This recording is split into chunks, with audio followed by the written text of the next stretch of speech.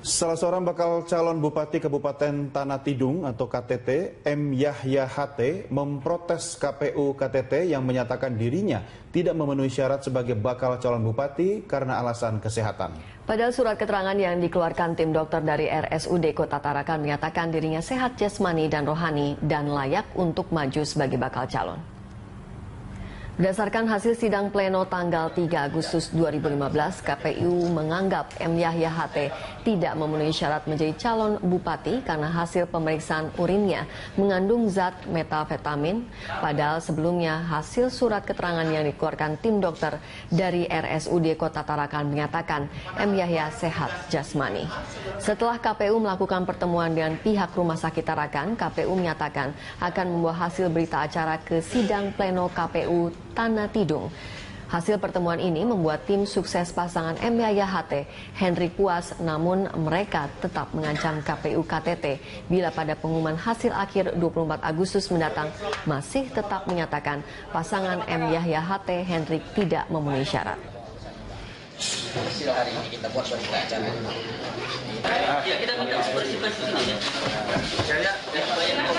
Ya, Gol, gol, gol, gol. ingin menjadi bukan. Tapi tidak melihat masyarakat yang susah. Saya dapat Maka keputusan KPU yang menyatakan saya narkoba telah dimentahkan oleh keterangan dokter yang menyatakan saya dan mampu melaksanakan hasil dari tim memeriksa bahwa mereka bisa mampu bisa layak untuk menjalankan tugas yang baik gitu kan. Itu seperti bisa dari tim dokter jantung, dokter segala macam. Untuk memeriksa kesehatan buat dia itu sehat secara rohani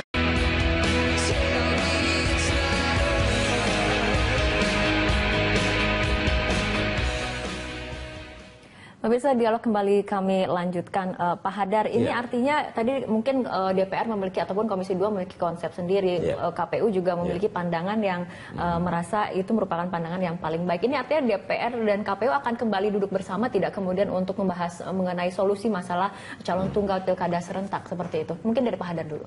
Tidak ada masalah. Jadi kami sering kali, apalagi belakangan sering kali dipanggil oleh DPR Komisi 2 khususnya. Dan itu kami pandang sebagai hal yang normal saja. Kami berkoordinasi, konsultasi, khususnya kalau ada hal yang eh, peraturan yang akan kami buat atau mm, Komisi 2 berpandangan ada yang keliru, tidak ada masalah. Tetapi em, saya yakin betul atau eh, kalau nanti ini akan dianjurkan teruskan dengan memilih satu pasangan calon saja, kami akan menolak itu. Karena kami berpandangan itu adalah nilai yang sangat Tapi prinsipil. bukanlah KPU tidak memiliki kewenangan untuk kemudian menolak ataupun menerima Kami mengenai lembaga mandiri. Jadi lembaga yang memang diatur oleh konstitusi di dalam mengambil keputusan Oke. itu harus berdasarkan peraturan yang kami pahami dan kami yakini itu benar. Oke, KPU terbuka untuk kemudian berdiskusi dengan DPR, tapi ketika Ya. usulan mengenai eh, satu pasangan bisa melakukan pilkada, KPU akan bersikap Sudah menolak. pasti itu kami perubahan Ya, inilah yang kita sayangkan dari teman-teman KPU ya selalu mengedepankan saya KPU ini, ini mandiri. Kita saya tidak mau melawan lupa beberapa saat beberapa waktu kemarin ya sudah banyak tuh putusan MK yang sudah kita remind sebelumnya. Petahana tidak perlu diatur lah secara detail. Akhirnya Pak MK yang memutuskan. Ternyata apa? Kata MK, ya udahlah petahana ini punya hak yang sama. Padahal waktu rapat KPU ini ngototnya luar biasa. Saya bingung waktu saya tanyakan ke KPU kok begitu alergi sama petahana ya? Apa sih daya rusaknya sama demokrasi? Sudah ada survei belum? Nah ini akan kita ingatkan sekali lagi nih Pak Hadar. Nanti saya Ya. kasih kesempatan. Ini ada ingatkan sekali lagi Ya. bahwa ada hal yang keliru yang harus dilakukan yang dan harus diperbaiki seketika. Ya. Kenapa ada orang yang sudah siap memenuhi persyaratan tapi terhambat hak konstitusionalnya untuk dipilih. Yang kedua, kalaupun ditunda sampai Februari 2017, apakah nanti ada itu calon lain? Kalau nggak ada gimana? Ya. Yang ketiga, politik itu momentum yang seperti saya katakan tadi. Belum tentu orang ini dipilih pada besok nanti, tapi sekarang sangat-sangat disukai dan akan terpilih nantinya. Baik. Berikutnya, bagaimana tata kelola pemerintahan? Bapak, eh, kita penyelenggaraan pemilu ini bukan variabel bebas, Pak. Variabel utamanya adalah bagaimana terpilihnya kepala daerah sebagai penyelenggara pemerintahan tertinggi nantinya. Oke. Kalau di sini sudah terganggu, ya makanya kita juga harus jiwa besar semua. Baik. Jangan bermainkan dengan orang. Kalau di sini sudah terganggu, kasihan penyelenggaraan pemerintahan di baik. daerah. Baik Pak Teri dan juga Pak Hadar, kita akan dengarkan eh, tanggapan ataupun pendapat dari pemirsa Berita Satu. Ada Pak Suliwan dari DKI Jakarta. Selamat pagi Pak Suliwan. Pagi Ibu, Ya, selamat pagi. langsung dengan tanggapannya Pak Suliwan ada dari DPR eh, Bapak Arteria Dahlan di sini dan juga Komisioner KPU Bapak Hadar Nafis Gumai. Silakan. Baik, terima kasih. Ya, Pak Suliwan silakan langsung dengan tanggapannya Pak. Baik, eh,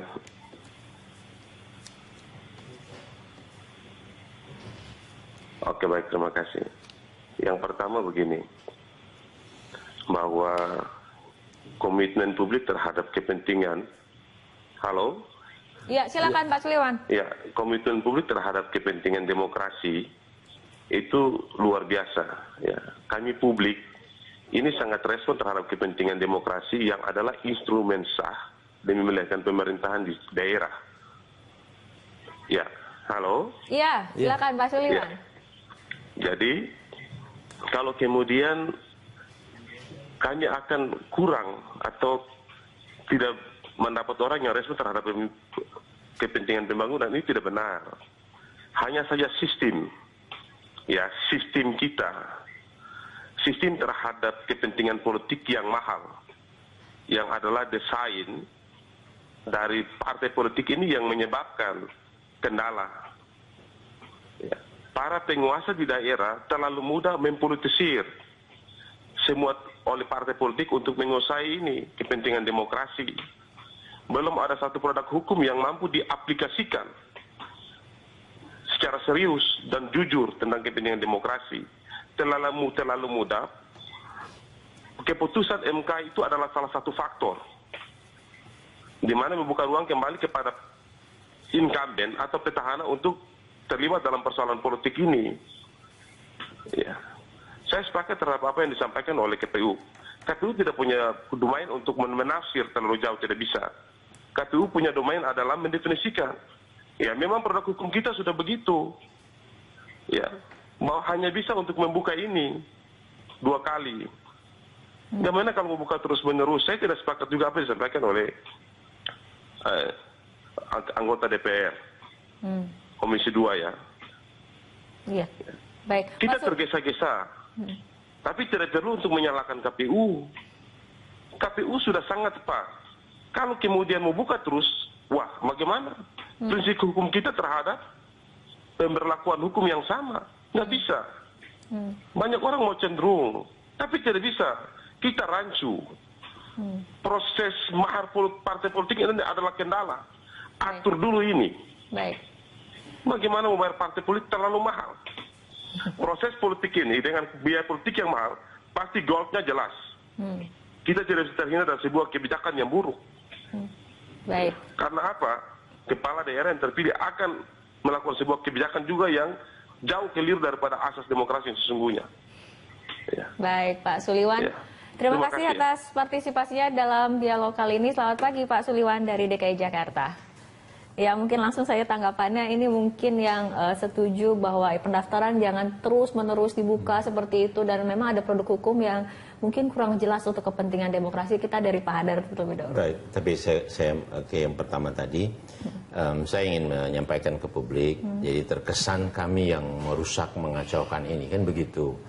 Jadi Pak Arteria dan para pemirsa, yang dibatalkan oleh MK, itu bukan peraturan kami, jadi bukan yang kami buat. Yang dibatalkan itu pasal yang dibuat DPR Oke. tentang bahwa kalau ada calon yang punya konflik kepentingan sama petahana itu dilarang dan itu dicabut pasalnya. Jadi jangan kami yang dikatakan membuat ini. Oke. Jadi ini lagi-lagi persoalan undang-undang yang tidak sempurna di mata MK. Kira-kira begitu. Nah, betul. Jadi kita tidak bisa membuka terus pendaftaran. Harus ada kepastian. Nah, undang-undang yang sama juga mengatur bahwa kalau nanti ada sengketa itu harus dibuka ruangnya dan kita harus hormati dan itu panjang sekali. Jadi kalau kita mau buka terus, terus nanti baru selesai ketemu satu bulan sebelum pemungutan suara, kemudian ada sengketa di situ, itu tidak akan terselesaikan. Iya, Pak Hadar artinya kemudian menjadi hilang. problematika gitu. mengenai fenomena Ya. calon eh, tunggal kepala daerah ini, Ya. Anda bisa mengatakan bahwa ini juga eh, sama-sama terjadi karena ketidaksempurnaan sendiri dari undang-undang itu sendiri sehingga kemudian KPU memang harus menjabarkan dengan PKPU Paling sendiri seperti tidak itu. tidak diatur Oke. di undang-undang itu sehingga kami bukalah dibuka kesempatan sekali. Tapi kan tidak mungkin kami buka terus, Baik. harus ada kepastian. Baik, gitu. Pak Arteria. Ya, jadi saya juga mau meralat. Tadi pembicaraan kita tidak ada ingin membuka terus-menerus. Yang ada, pertama kita sesuai SE 403 itu tiga hari waktu pendaftaran, tiga hari jeda, dan tiga hari pendaftaran diperpanjang. Begitu tidak diperpanjang, ini yang jadi permasalahannya. Kalau KPU katakan selesai, tunda di Februari 2017. Kalau kami bilang jangan terburu-buru dulu. Kita cari jalan keluar yang terbaik seperti apa. Ya. Menurut DPR, Itu apakah yang jalan keluar yang terbaik itu. dengan mengeluarkan Perpu ketika kemudian pemerintah misalnya isi Perpu adalah menegaskan bahwa eh, daerah dengan satu eh, calon kepala daerah bisa ke- kemudian melakukan pemilu seperti itu? Iya, kalau eh, ditanya solusi yang terakhir, solusi yang terakhir itu Perpu. Hmm, itu terakhir. Iya. Walaupun ada polemik bagaimana masalah kegentingan dan Nah, memaksa. iya. Kalau saya katakan ini genting dan memaksa. Jadi jangan Anda dilihat setuju bahwa kondisi sekarang genting dan Iya, memaksa? Artinya Anda setuju jangan dilihat dari Perpu? numbering loh. Jadi cuma ada tujuh kabupaten kota. Pak Hadar masih mereserve. Ada beberapa lagi yang mereka masih verify. Yang head to head ini belum tentu bisa jadi nambah nih Pak Hadar ya. Tentu. Nah, yang seperti ini, walaupun jumlahnya cuma satu sekalipun, ya, basisnya adalah daerah. Nah, itu tadi undang-undang pilkada tidak berdiri sendiri. Ada yang lebih tinggi lagi, bagaimana tata kelola pemerintahan yang baik itu hadir. Tata Apakah kelola yang hadir gimana? Dibutuhkan seorang kepala daerah. eh, gejolak ataupun polemik lain di daerah-daerah? Justru seperti itu? tidak ada apa yang dipolemikan. Jadi gini loh, terhadap 250 sekian sudah clear, aman. Yang sisanya ini orang nggak ada yang mau nyalon lagi kok. Ya, kalau yang satu ini ditetapkan ya nggak ada masalah. Orang yang lain nggak mau nyalon. Ini kan fatsunnya begitu. Oke, baik. Kecuali ada yang mau nyalon di- ditetapkan si A. Enggak, si A aja yang mau nyalon. Oke, baik. Ya, dan sudah Bapak-bapak, siap untuk itu. kita tahan dulu perbincangan. Ya, Seperti biasa, kita ikuti jeda berikut terlebih dahulu.